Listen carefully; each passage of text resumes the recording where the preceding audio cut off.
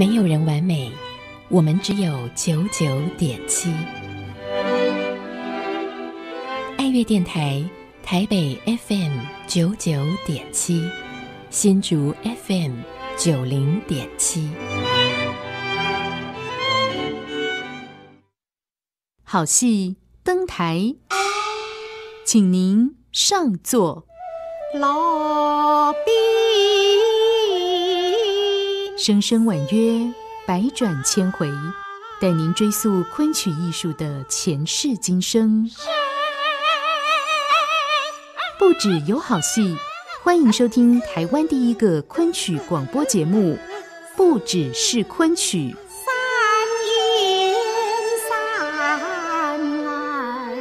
本节目由建国工程文化艺术基金会赞助播出，开启人文生活美学新风貌。建国工程文化艺术基金会。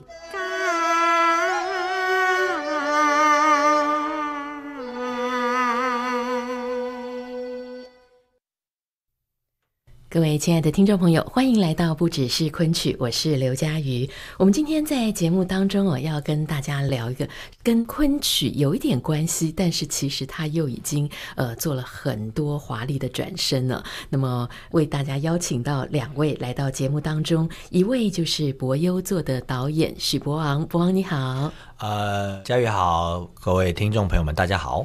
好，还有一位是我们呃国内的京剧小天后黄雨玲，雨玲你好。你好，主持人好，各位听众朋友，大家好，我是黄雨玲。其实博优座这些年在台湾哦，嗯可以说是让很多不认识京剧。或者是说，几乎很少听传统戏曲的一些年轻人，嗯开始慢慢的喜欢，而且疯狂的喜欢。啊对啊，对我一直很好奇，博你为什么会想到要把传统做这样子的一些变化呢？嗯，我想大概就是好东西要与好朋友分享，大概就是这样。因为我觉得戏曲其实是京剧也好，戏曲也好，包括歌仔戏啊啊很多客家戏啊等等，昆曲。戏曲其实是一个非常有我们民族性跟民族文化特点的一种表演艺术，嗯这样。那我自己是觉得非常喜欢这样，雨林也非常喜欢。然后，可是因为我们学了这个，我们常会想说，哎，这个东西到底要怎么介绍给呃一般观众，或者是我们的全国同胞老百姓们这样？好，那怎么让他们觉得说，哦哦可以入门，或者是说，呃，我我我原来可以这样欣赏。嗯，那所以不用做做的事情，比较像是我们在传统之间跟观现代观众之间中间做一个媒介，就是你可能透过我们，你会发现哇，这东西原来是这样子看的，哇，这东西原来可以这么有趣啊！然后经过我们再说，哎，那我想看看原本的是什么样子，然后再去看传统戏曲，然后、哦然后他会在看传统戏曲的时候，却会更没有压力，然后更能够欣赏戏曲的美。这样，那美的事物本来就是对观众啊、对人啊、它有非常多好处，净化心灵啊，或者是摆脱绝望人生 摆啊等等。这样，那我们就是努力往这个桥梁前进，这样，是然后也在台湾发展我们自己讲述这些传统戏曲呃美学的方法，这样。嗯，所以你把博优座的定位是把它看在是传统跟现代当中的一个桥梁，而这个桥梁本身它又可以创造出无限新的可能性。对，这个桥梁做久了，可能它就会变成凯旋门了，它就变成是一个地标，就不只是桥梁了。是是是，啊嗯蛮好的。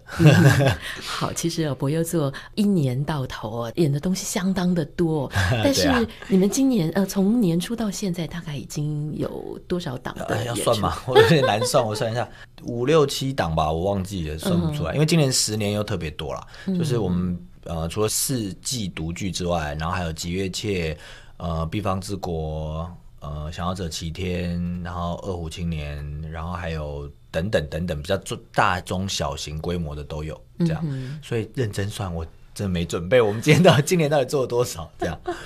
其实今年真的好像一直有听到博优座一直在演出，嗯那现在终于要进入今年的压轴这一档了，对，终于要进入是圣诞强档。圣诞强对，是是，这个圣诞强档呃，在云门云门剧场。好，会带来什么样子的作品？哦，云门剧场，因为既然是圣诞节嘛，就要在寒冷的地方过圣诞节才有道理。你说云门剧场很冷的意思？云门剧场当然冷啊，淡虽然说可能跟我住龙潭差的还是差不多这样。嗯，那我们这次在云门是我们首次到云门剧场演出，然后我们这次诚意满满的带来两两周两个作品的演出。那呃，下午是二五青年 Z，就像是刚刚呃讲到的，就是作为桥梁，到底该怎么看这件事情。那晚上呢，就是呃黄伟玲跟杨瑞宇跟博优座所有的演员们一起带来的博优群灵系列，嗯就是。先给你桥梁，然后我们就可以过桥喽，这样、就可以看到哎美的那个东西是什么。但是因为我自己不会做的作品，其实我们有我们有很多话要讲，不单纯只是传统戏曲而已。这样，那既然是桥梁的本质，所以我们在传统戏里面还是加上了一些我们新的诠释跟新的身体。那当然也应景啦，在云门剧场嘛，你不能在那边就是只是唱，所以雨林带来了呃《痴梦》这个作品，杨瑞宇带来《扈三娘》。那我们的 slogan 是黄雨玲做痴梦一场，杨瑞宇火眼护三娘，这样，因为他们两个演员作为大行演员都非常厉害。然后这两个作品，呃，等会可以让可以让雨玲来跟我们介绍痴梦，跟他为什么会选择这个作品。然后杨瑞宇也是出国比赛得冠军回来的，这样身体也非常强悍。然后他们两个人，我们在云门做的这个制作呢，他们两个人都在最好的时候选了一出最好的戏，最好的时机时间点。选了一个最好的戏，而且是很难的戏，对，因为我们都知道，像杨瑞也是武旦，他是一个男旦，这样前旦，嗯然后他的这个武旦的寿命是有限的，就是他现哦。在、他今年的年纪大概他的巅峰会在这三年。哦，那所以这三年你是在恐吓我们要看，赶快对，要看，我在恐吓你们，赶快来看，这样。三年后你们就只能追忆了，这样。因为舞剧演员的舞台生命其实跟运动员很像，嗯，是是是，所以这三年你我们会比较积极做他的作品，然后让观众可以在最好的时机，就是最好的熟度，然后吃到最好的菜。真的是花开堪折直须折，对，莫待无花，好不好？空折枝。所以那雨林呢，他到这个年纪演《痴梦》里面崔氏的这个角色，其实因为历练到了，技术到了，所以更可以刻画人物，可以入木三分。所以我觉得这个就是非常好，欢迎大家来看戏。这样，是是，这次其实真的在云门剧场的这个安排哦，我觉得是很特别的。下午是二虎青年 Z，就是你们的一个新创的作品，但是当中还是可以看到博优座非常棒的演员们，从非常扎实的这种传统京剧的功底里头，但是你们加入了现代剧场的很多想法跟创意我。们的观众说。我说你们都怎么介绍我们的戏啊？我都你们为什么来看？我都不知道怎么介绍，你们都怎么骗人来看的？他说哦没有啊，因为我觉得不用做戏就很像是，我都跟他们说剧场唯一什么唯一？他说唯一就是你很难可以进剧场看戏有看爽片的感觉。就是动作片的爽片，爽片这样，然后就是又笑啊，然后又又有飞车追逐，还有打斗，你们到底怎么做到？但是其实这都是戏曲给我们的呃本事，就是因为我们都要练基本功、把子功、弹子功嘛，我们有很多唱念做打的功要练。那这些东西只要稍加转化，再用身体去驱动它，那在台上演爽片当然不是什么难事，而且会非常爽，因为现场就是这样。那你说演爽片是因为不用做我们为了要到现代，所以吸引观众做的商业模式吗？其实不是，是因为你其实去看晚上，你早下午看完那个爽片之后，你晚上看传统的护家庄，好，然后你再看传统的黄有玲的一文一武的搭配的这旦角，你会发现，你下午看完那个爽片之后，你就发现原来晚上看一样是爽片，就是戏曲本身就是爽片，是只是你你不知道怎么去。就是坐下来从哪个角度进去，可是当你下午已经被洗过一次，嗯，这个看法之后，晚上再看的时候，你就会真的可以像我们一样得到非常好的看戏体验。是，所以真的很多看博优座的朋友，以前过去是不看传统戏曲的，对但是。经过了博优座的这个洗礼之后，哇，他们现在开始对这个非常非常的爱了。对，这一次的嗯特别的就是晚上的这两出，一个是扈家庄扈三娘，嗯。呃杨瑞宇所带来的，一个就是黄雨玲这次要演的是《痴梦》哦。这两出其实都跟昆曲也有很多的渊源呢。是。是。雨玲要不要跟我们介绍一下《痴梦》这一出？哦，痴梦这个折子呢，其实呃是当初孙玉明老师在看了张继青老师演出的《烂柯山》之后所编创的一个折子戏，所以它充分的表现了这个荀派的表演风格。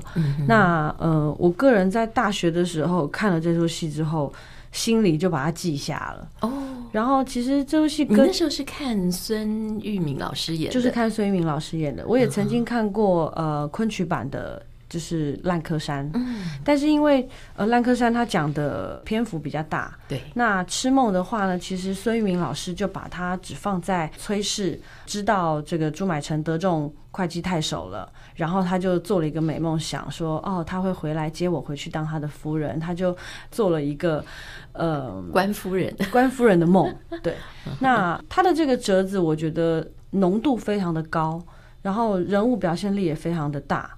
那当初那时候觉得很遥不可及，哦，但是好精彩。然后呃，在前几年可以扮演的时候，其实我就觉得，哎，好像当初看了那个戏，心里面的悸动，呃，在这么多年之后，你要来实践它的时候，有一些生活上给你带来历练的一些领悟吧。嗯嗯，所以你在诠释它的时候，你就会更明白，呃，它不是只有单一的嫌贫爱富的嘴脸，它也是要让观众喜爱的，嗯而且甚至其实看完之后，你会你会有一点心酸酸的，有一点同情。嗯，是是。其实雨林开始学吃梦哦，嗯，我刚刚有问他说：“哎，你是跟哪个老师学的？”然 后我真的很惊讶，他告诉我是陆老师，就是从一个录影带上面慢慢的学。呃，之前雨林有到我们节目当中跟我们聊过《春草闯堂》这一出，而且你好像也是从录像带上面学下来。一开始是对，然后后来后来就有师傅了。后来就真的见到本尊，对，本尊看到了以后，非常非常的惊讶，说：“天哪，你怎么可能从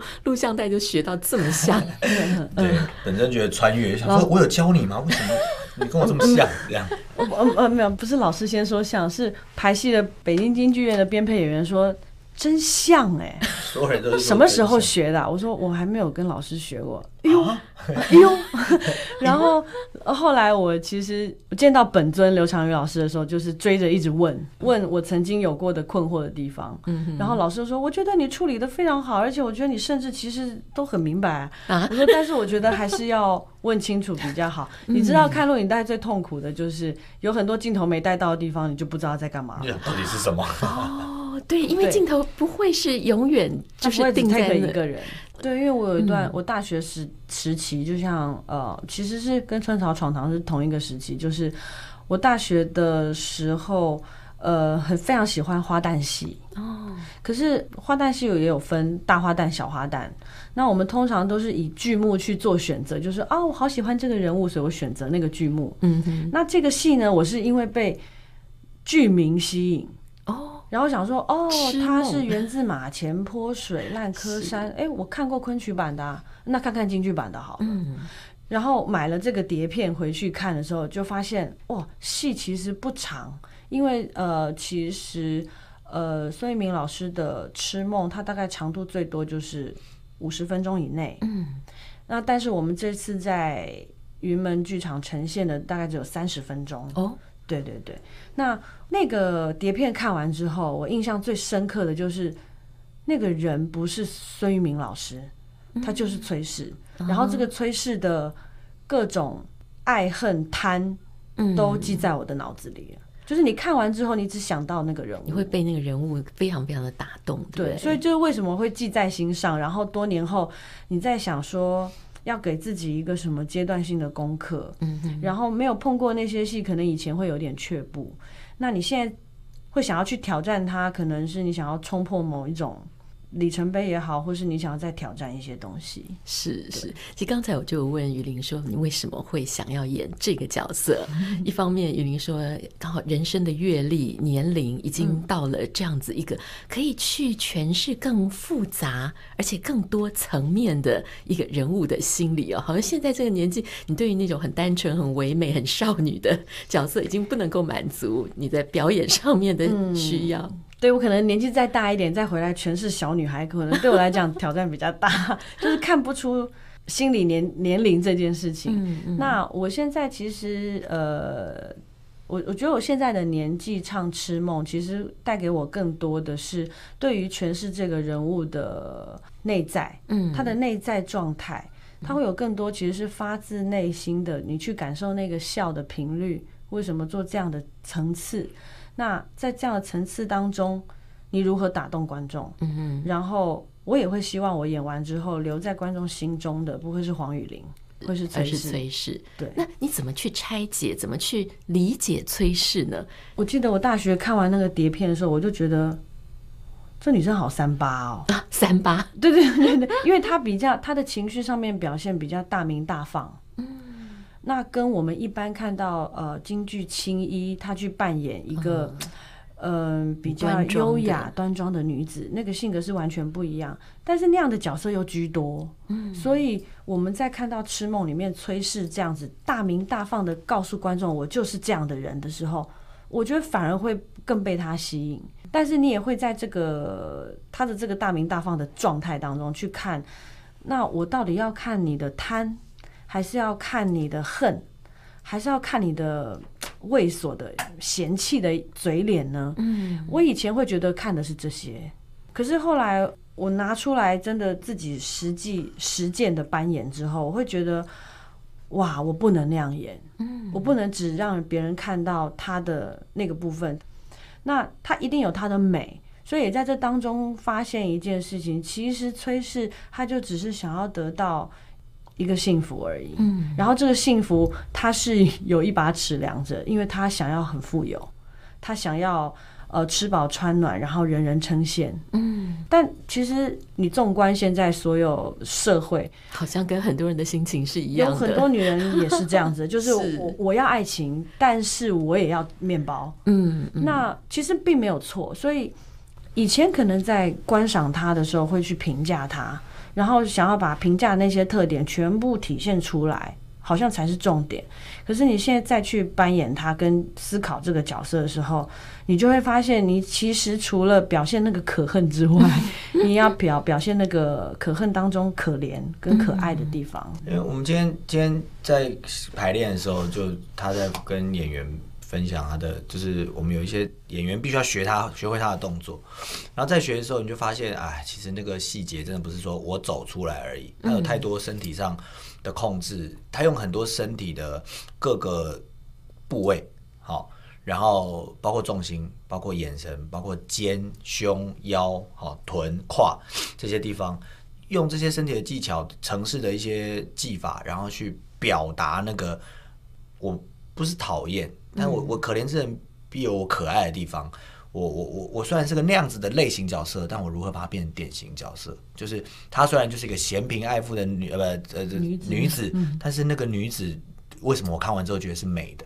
那这些就是这个，其实就是传统戏曲的魅力，就是即便即便她是个这样子性格的女人，你看完都会觉得，哎，就是你还是被他打动，你会觉得为什么朱买臣不回来找他？这样，对，就是就是非常有趣，欢迎大家来看戏啦，好不好？是啊是，其实最重要就是买一张票走进剧场里头，你就知道这些所有的我们讲出来的这些东西，其实他演员都是在他的眼神、他的身段、他的声音、音色，各式各样的里头透露出非常多的讯息给你们。而。且我刚刚说大明大放这件事情，除了他表现在唱腔之外、做表之外，其实我觉得有很多用声腔的方式，其实是我们一般在看传统旦角剧目的时候比较少见的。哦，是像什么我样子我？我我记得我在我当我前几年在演的时候，我只要有一个地方 no no no，然后大家就窃笑，哦，就会觉得怎么是这个这个表情，然后是怎么会是这种声音怎么说法文这样？？no no no，这妇人莫。哈哈哈哈！他那个笑就是整个大开怀的，就觉得哎呀，我要当当夫人多美啊！他的那个他的那个打从心里面的那种满足跟欲望被得到一种彰显的时候的那种、那种欢愉，他是用这种大笑去表示。可是你在你在传统戏旦角的剧目里面很少看到有旦角就这样咧嘴笑，对对，而且其实我当初揣摩这个戏，我觉得最难的就是笑，哦。因为它有分这种大明大放的哈哈哈哈这种笑，你要笑的长，跟笑的有层次，跟有一个抛物线的那个强弱，那个其实真的很不容易。然后另外一种笑是闷着笑，就是心里面得意呀、他的那个某种得逞也好，他真的就是非常非常生活的。那可是他把这个生活的层面用技术提高到一种层次去执行它，那我觉得这个东西其实是非常非常吸引我的，因为它经过京剧技术上面的美化，可是如果你要从技跟艺之间同时打动观众，跟传递讯息给观众，然后还能让他感同身受，我觉得这是我比较想要去追求的方向。是好，我想光是这个笑哦，就已经有这么多不同的表现跟层次。那么其他各式各样的一些唱念做表里头，一定是。真的煞费苦心。我们先来欣赏其中的一小段，好不好？雨林今天为我们带来了，其实有两段的唱段。嗯，呃，先先跟各位分享的是，崔氏出场之后呢，有一段独白讲她经历了两段婚姻，然后她的现况如何，嫁给这个张屠户，幸不幸福，美不美满。可是讲完之后呢，她又想起她的前夫朱买臣。嗯，那这一段其实是慢版，可是呃，因为篇幅有点长，所以今天带来的大概只有第一句。啊，但就第一句。对，只有第一第 一个 part 啦，不知道第一句，那就是一句了吗？四分钟哎。啊，四分钟唱一句，好 OK，好好好对，呃，这第一句呢，其实就是嗯，忆往事，眼前又现我那买臣的身影，我那买臣的，身影，因为张屠户对他就是又打又骂。就家暴，虽然他跟着他吃了饱穿了暖，可是对他又打又骂。他其实呃某种程度其实应该说生活是幸福的，但心灵不幸福。肚子是心饱的啦，对，肚子是饱的，对，所以他想想起他的前夫对他的好，那从这一句开始呢，就慢慢的把他对朱买臣的某种怀念就晕开了。嗯，对对是。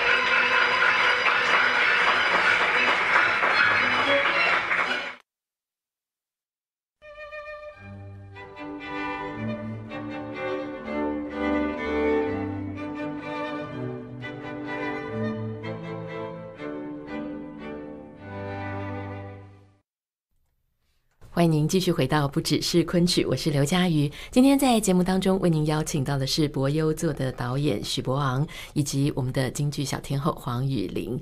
那么他们要为各位介绍的，就是今年他们博优座压轴的圣诞强档，在玉门剧场将要带来的。呃，你们看戏是下午是看《二虎青年》，对，晚上是看，博优群灵的《痴梦》跟《扈三娘》。非常期待大家是能够下午看完看晚上，对不对？对，因为你都上一趟云门了，就把它看完吧。而且我们云门这么远，对，大家赶快买票哈！买完之后，我们中午中间可能会做外汇跟把费，大家可以来登记。对，你看做戏做到做这样了，也是蛮不容易的。就是希望大家可以上来，然后有个舒服的看戏的体验啦。就是下午可以看这个动作爽片，这样晚上可以看这个这么精致的这个戏曲之美的小两个小品，这样。对，其实博王他是虽然这样讲啊，说什么大家一起吃把费，其实是用心良苦哦。对啊，因为附近不太好找东西吃，这是第一个。呃，第二个是，其实我们剧团本来就很多是愿意跟观众互动，嗯，然后愿意跟他们更多的交流，让进剧场这件事情不只只是我去看了一个戏，而是多了一个社群的功能。一个是传递这个分享的文化，然后一个是呃，现代人太容易寂寞跟孤独了。既然如此，就每周来博优座的剧团剧场报道吧，这样。比较像是聚会哦，在剧场。在剧场的聚对会，聚会对对，博优座给我的感觉好像就是跟你们的粉丝的距离非常的近。对，蛮近蛮近，对啊，其实蛮近的。粉砖上面的留言有时候几乎都是我自己回啊，然后有问也是必答。嗯，是是，所以呃，基本上就好像不是演员跟观众，而是朋友跟朋友之间对对，那这有个好东西哦，快来看，这样大概是这样。或者我今天去剧场看我朋友演出，对对哎，对对哦，这种感觉真的很不一样。对啊。对啊，是是，呃，所以这一次其实在，呃雨林的《痴梦》里头，它虽然是一个所谓的传统戏，但是我知道博王在里头也做了一些手脚，对不对？对对对。对，虽然是传统戏，还是要做一些手脚。就是戏曲其实一直在进步啦，只是进步的长相不太一样。就是我这次是在这个戏里面，因为避免也不是避免，就是我更多的想要让把一些我自己的观点跟好东西分享给观众，这样。所以这次来看戏非常干净，大家可能看戏曲都会觉得啊灰灰，就整台就大亮啊，哇很灰，这样眼睛回去看了都有点难受。就是好不是，他进去之后只会有主演是有全副武装的。这样、哦全装全部全部都是好的，对。然后其他人，然后他他我们不会跟动他，就是不会改动他任何东西，就是他就是传统的他是传统的，但是我们其他旁边的人全部都是中性的，或者是时而是他的配演，时而是他的影子。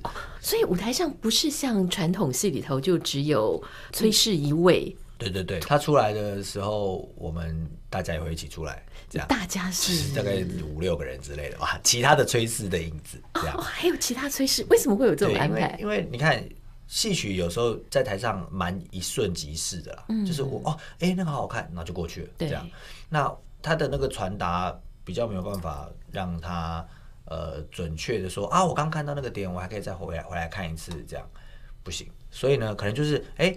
雨林出场之后，我们作为我刚刚不是讲嘛，时而是配演，时而是呃影子，就是我们可能是他重复他的影子，比如说刚刚那个，刚刚他出来那个，我认为他出来那个移动，嗯，是非常美的。那这个这个小移动呢，包含了所有我认为呃戏曲在蛋行角色里面的某一个类型角色的经典，所以呢，就是他完成他的出台亮相之后，后面就开始一直重复那个移动，这样哦，所以就有不同的人，对，后面有一排人是像他影子一般，把刚刚那个，因为我出场亮相那一刻，他就是那一刻结束就没了。可是我会把那项亮亮相那一刻像涟漪一般的，就是告诉大家说，呜，你看很美吧，这节很美吧。然后他一个个人的戏就不是完全靠他一个人的气场去 hold 住这件事，而是其他人会协助他完成这个。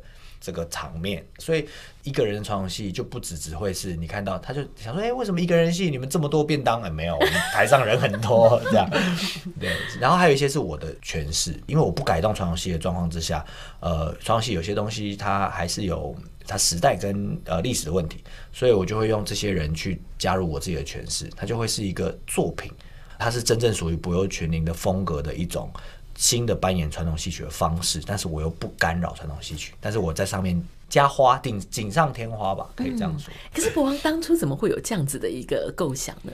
嗯，其实这也要蛮感谢云门的节目部的同仁们，应该、我不确定是哪个部啦，但是就是感谢云门找我们去的人们嗯这样，然后大家都会讨论，就是作品在云门到底有什么跟别的地方不一样。云门不该只是个剧场，云门应该有更多态度，好、或者是观点。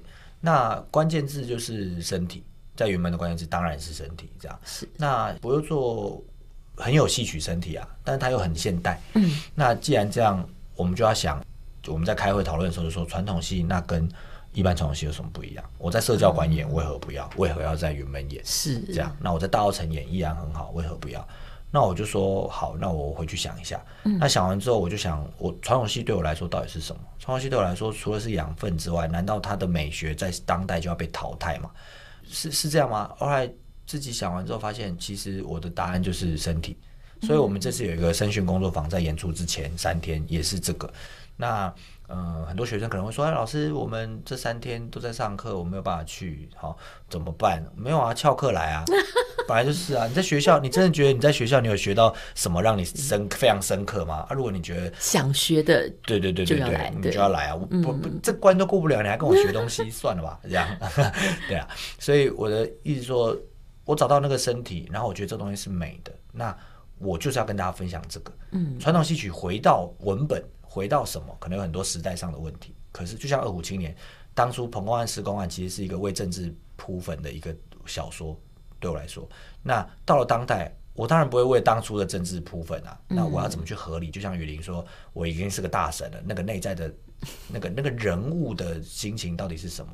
就是他绝对不是因为我要当个嫌贫爱富的人，no，他一定有他不能丢弃的。你如果去认真分析崔氏，他可能小时候被饿过啊，他可能饿过，然后被丢在路边，差点被野狗咬死，救回家之后，他就不能没有钱，他就会很恐惧，这样，所以他宁愿选择面包。但他当然会憧憬爱情，听起来多么哀伤，对不对？崔氏瞬间变一个哀伤的姑娘，这就是导演做的事情嘛。这样，所以传统戏很多这样。那到了我手上，我不讲文本什么的，我把美好提炼出来，所以才要是杨瑞宇演，我自己都不演啊。你看我自己，我自己为什么不演？因为我已经过了那个年限了，过期了，这样。你保鲜期已经保鲜期过，可是我的导演的保鲜期不是保鲜期，我现在正是最好的时嗯，期。赏味期，对，赏味期刚好，所以加他们的正好的使使用期，对不对？然后结合在一起就，所以我自己不会去，我知道，因为我其实要求也蛮高，所以我不会破坏那个画面，我就让他们最适合的时间去做最适合的事情，这样。然后我用我到了这个年纪的可以欣赏的那个观点，他们可能会卖力气，他们不知道自己的有多美。可是当我知道他们有多美的时候，我就可以协助他们把这些东西拉出来。哇哦，是是，所以等于说，呃，晚上的这两出就是雨林的《痴梦》以及杨瑞宇的《扈三娘三》，娘都是用这样子的方式对对来处理。都是用这样的方式来处理。哦那扈三娘会更多在身体上。那这个两个戏很有趣，因为我自己工作起来我觉得很有趣，因为一个是文戏。大文戏 是对吧？雨林的是文戏对，一个是嗯大武戏。那这个我跟那概念完全不一样。就是那好，武戏我知道要做什么，搭配演的该干嘛干嘛。女生我有时候会是女生，我说我会演啦，我会演，我但不会担任主演角色，我会跑帮忙跑跑龙套之类的。哦，你也会上场，对对对对，就是哎、诶这就是这样。老板在台上当龙套的时候，大家就会非常认真这样，然后观众会觉得哎、诶好好玩哦这样。然后就是我们身体会变，我们有时候会是女生，有时候会是男生。我不用改装，但是我用身体让你感觉到那个差别在哪里。嗯，那很多时候是配演，很多时候打，看的是速度跟身体的力与美这样。好，他的那个。额外诠释的事情比较少，他比较多是在用身体来诠释。嗯，可是《痴梦》是个大文戏的时候，我就是让它变成是涟漪，跟让它变成是那个才有我的观点，就是我就是要这个点不断的被重复，我需要你们看清楚这个点是什么。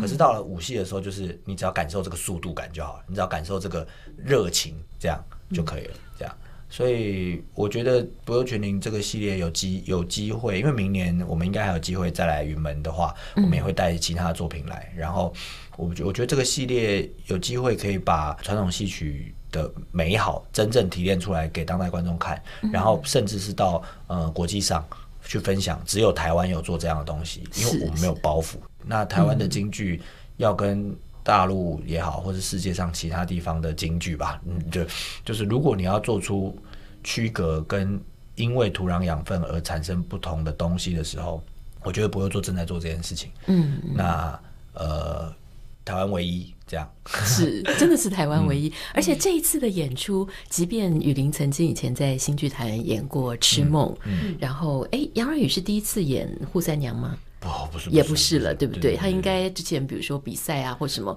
已经演过很多次，但是这种演法第一次，第一次，对，嗯，被我荼毒的演法是第一次啊！我 们不能好好唱戏啊？不行啊！杨瑞，你给我回来排戏，没有没有没有，呃 我觉得我觉得这本质还是在于，应该说不忧群灵系列其实是我们向传统致敬的，回到这个本质、这个点原点上面。是可是我觉得它依然不会流失原本那个传统折子该有的精华。我觉得就像博王刚刚讲的，他想要让大家回归到那个传统戏曲身体的美。嗯，那这个划重点的方式呢，其实如果没有相当的爱，是不会愿意这样做的。相当的爱，对我说相当的爱是说他对传统戏京剧这件事情的热爱。是就像我昨天去最近去排其他团的戏，这样，然后其他团的戏，他们就说：“哦，老师，我好想看哦。”那个，我因为大家他现在同业有点没办法互相观摩，就是因为大家都很忙嘛。然后老师好想看啊，他说：“我觉得你们的戏很好。”我说：“怎么样？”他说：“你们是创新没错，可是你们虽然说创新，可是你们的功很多哎、扎实就是这个戏里面有很多环节是又要打又要走边又要干嘛，那都是传统的东西。它不像很多新编戏，我弄了新的东西之后，我就都在对话了，就是我没有传统的功底。我我穿大衣，可是我照样当成靴子耍，就是戏曲的那个靴子耍。嗯嗯，那呃，我就像我们的龙头，我没有马鞭了。我骑摩托车，我不会拿个真正的假龙头出来，然后假装做墨剧，因为我们知道戏曲之美的规律是什么，是迂回的美美学是什么，圆顺张弛度的美学是什么。那我们把它放进你们这个时代感兴趣的文本，如此而已。嗯，这样。所以有一还有一些观众分享是说，他买他那天买了一个在 Seven 买了一张不会做的票，嗯，然后店员就问他说：“哎、这是剧场演出、哦？”他说：“对啊，啊，这个好看吗？”然后说：“好看啊。”然后就走了这样。然后他跟他同行的朋友就说：“这戏又没演过，你怎么知道好看？”他说：“哎、开玩笑，是不会做的戏耶。”就是对我们的观众来说，就是我早就我早就已经不想他在演什么了，他去就是一定是好看的这样，是所以就不需要观望，蛮像好不好？无菜 对，因为他们就信任你们的对创作的理念跟你们的做法。就是想来看说，哎、你们又要干嘛？你们要端出什么菜？而且其实大家，我真的，如果大家有看戏习惯的任何剧场观众，欢迎大家来看不会做的戏的原因，是因为呃，你可能看过很多剧场的节目，可是你可能会觉得哦，就就是这样，可能得到了娱乐或者得到了什么，或者说哦，我去看了什么这样。可是其实你可以来看看不用做的戏，因为真的蛮不一样的。嗯，就是它更多的是思考，更多的是传达某些爱，更多的是疗愈你，而不是让你笑两个小时而已。笑两个小时很容易嘛，可是或者是哭两个小时也蛮容易的嘛。可是如何被得到疗愈这件事情，我们不又做四年十个作品，十年十七个作品，我们一直在找，就是跟观众如何，我如何完满你的人生，跟完满我自己的人生。所以，嗯，如果有看戏习惯的，知道云门在哪里的人们，就赶快去买票吧，好吧？时间到了出现，就来吧有需要疗愈的啊，嗯就真的需要走这一趟。对，而且建议大家先买第一场，虽然说最后一场票房很差，但是买第一场，因为你可能今天晚，你明天还要来，所以你就买了第一场，说哦，我明天还要来，那你就可以八场都跟到。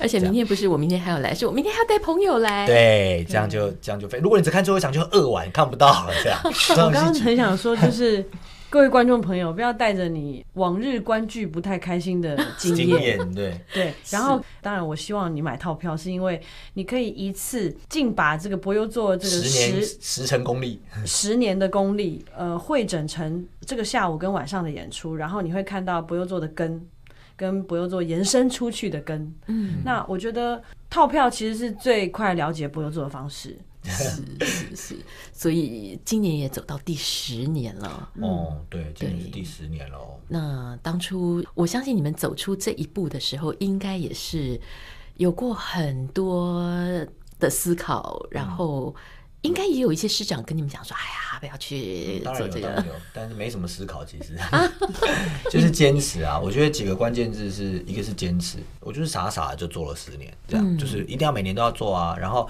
我也没有抵押房子什么的都没有，就是我我非常用老天爷给我什么我就做什么这样。嗯我觉得博王做不用做其实是凭着一个一股傻气跟干劲。嗯，那我我其实呃，我其实听了不少这种话，就是长辈的担心啊，然后的劝告啊。可是我觉得很有趣的是，越是在这样子的状况下，你越清楚你什么该做，什么不该做。其实我就想到我的师傅顾正秋老师，那个时候呃，他后来认识博王之后，他有一次非常震惊的邀请博昂，然后跟他聊他的博友座到底要做些什 so 么。serious 的，就是对。请到我到他家，然后我那时候非常开心，就是师傅想要了解他要做些什么事，然后他后来给予我们很大的祝福跟鼓没有，他是支持我的，而且非常鼓励我，而且他觉得这京剧要这样才对路不这条路不容易哦，不容易哦。可是其实这样才是出路，因为对老师来说，当年也是这样，所有剧团起来都是筚路蓝缕，你都要走出自己的路，要不然何必呢？对，所以老师的支持对我们来说也非常重要。所以大家觉得，哎，雨林啊，你这样传统戏怎么样？怎么样？不，这无所谓，师傅同意啦，这样就是大家都觉得是这样。然后对啊，大家都想说雨林为爱走天涯，对，哦，真的也有有有这样的话，有 很多人有我听到的时候，我想说，哦，真的吗？哎，其实我也没想这么多，哎，其实我想的，是我我没有爱情因为多少个剧团都在争取黄雨玲，啊，其实还是可以争取啊，我们又没有不让黄雨玲去演出。对啊，就是因为雨林，其实我个人没有要把它绑在博优座了，就是它作为一个公共财，就是 台湾的公共财，这样就是欢迎大家跟他合作，因为博优座说要玩传统路线去完成它的传统的那部分，我们能做的就是博优群林。那雨林当然他本身能耐来说，这件事情对他也是有趣跟有有意义的。这样，但是在传统戏的部分，他完全没有不愿意去跟大家合作，或者是不愿意去去唱传统戏。其实不是的，就是人没有这么不需要这么表演这件事情是同的，不用这么二对不用这么二分对，其实是是这样是。嗯但所有的所有的工作经验，呃，不管是跨剧种的，或者是融合什么样的元素，呃，我觉得所有的工作经验其实都会让我有更多的思考在京剧的这条路上。那我觉得其实就是怎么去做微调跟延伸吧。然后还有一个就是你在有能力的时候赶快做。是好，所以啊，真的是在他们能力最好的时候。看到他们最精湛的演出，还有像刚才博王所讲的杨瑞宇，他现在也是在一个男武旦旦嗯嗯最精华的、巅的最巅峰的时候，是而且他的武戏真的会让人他的武戏，我为什么想要杨瑞宇？其实脾气很差，杨瑞宇其实有时候这什么角儿气息很重，哎呦就是很麻烦这样。可是他也谁也不服气，但对我还行这样。嗯我是为什么要做他呢？这么难搞还要做他？可是因为我在读中国戏剧学院的时候，他在读本科，我在读研究所，我有时候去看他演出。可是我看他演出，有时候我真的会。我那个时候还写了一句话，就是真正好的东西哦，你不用 Q 观众拍手了，他自己会叫出来，就哎这样哦哦，就是你根本不用哎还要捧还要哄，根本不用，他那个东西一走就觉得啊，好好好算你了不起这样，我就是看到那个东西，所以我觉得好吧，那就带回来给大家看看吧。所以我希望大家进来的原因是因为你不要。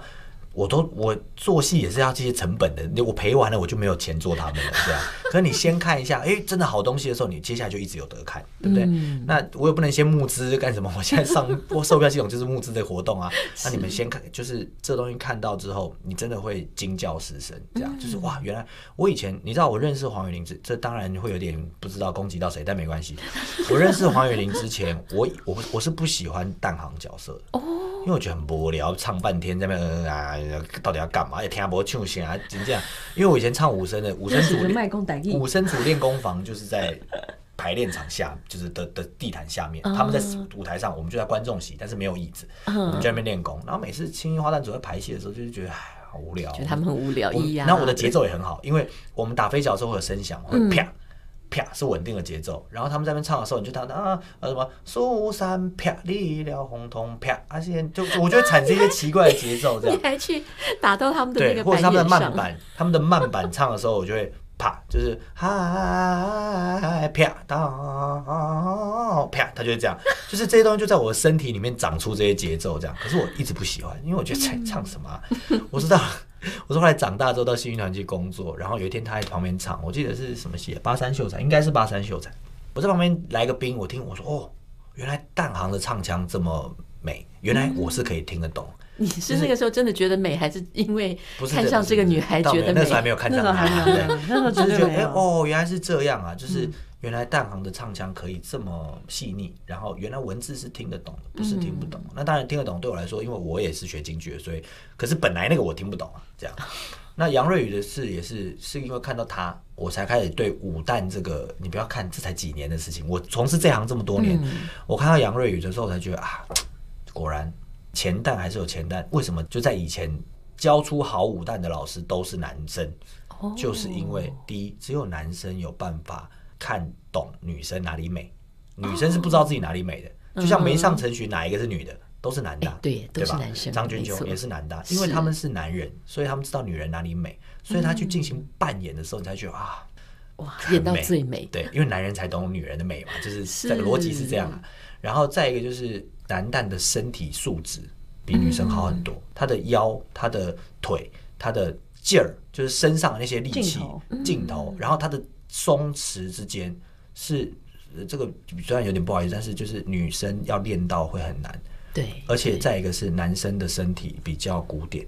哦。因为我没有胸部嘛，其实。哦，所以他的身体比较古典，但是他要更多做出 arch 去做出那个女性的线条。的对，就是女性的线条，然后还要兼顾武戏的那个，那可能在武旦这个行当里面，让男生去诠释，有天分的男生去诠释，会真的比看一般的武旦来的。呃，有不一样的体验，我不要说好坏嗯啊，但是它就是有不一样的体验。啊，怎么知道有什么体验呢？就是要来看戏啊看。戏是 好，所以啊，这个圣诞强档，听博王这样讲，你就知道。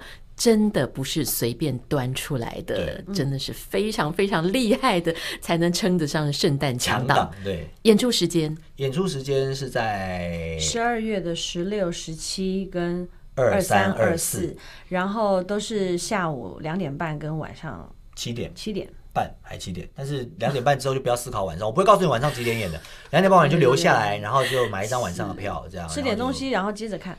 如果大家都到齐了呢，哎，那就先开始好了。所以哦，用一整天的时间，反正淡水那个地方风景这么好，空气这么好，就像一个小旅行一样。当然了，你出去琉球一趟，哪有去云云门来的便宜啊？是不 是？跟着好朋友一起做一个小旅行，然嗯后又可以看到二虎青年记，以及晚上非常棒的吃梦，跟还有扈三娘。扈三娘，对。洗涤身心，洗涤身心。对，或者是呃，你想要更快的拉近彼此的距离呢，你也可以上脸书博优做的粉粉砖专。页粉丝专业，嗯，OK，好，我们也预祝这个圣诞强档哦，叮叮咚咚，非常的 热闹，而且非常的成功，非常谢谢博昂，谢谢雨林，谢谢，谢谢。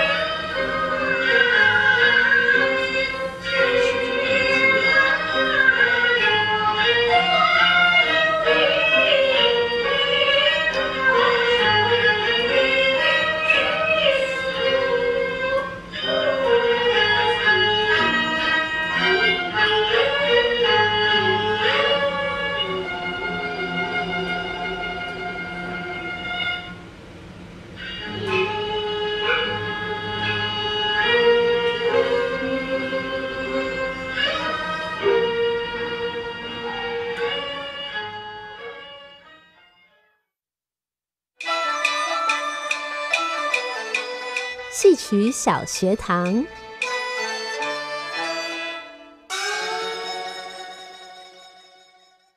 听众朋友，大家好，欢迎来到戏曲小学堂。今天要为大家介绍的是吹打曲牌。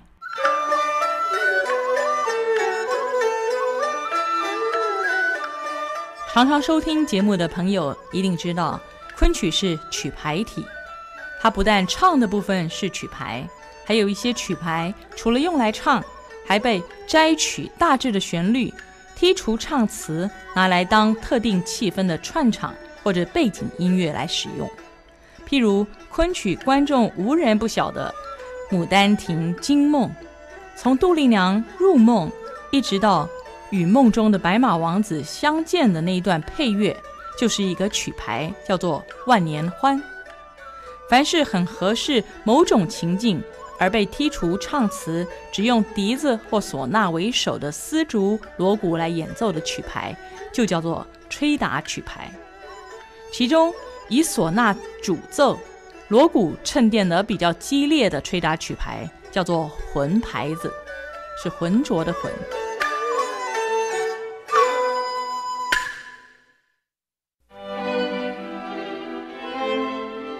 台湾最没有压力的声音。台北爱乐 FM 九九点七。